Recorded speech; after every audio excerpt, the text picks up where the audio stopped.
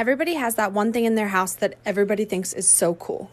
Could be a hidden cabinet, little movie room, gadget, but ours is this. I tried so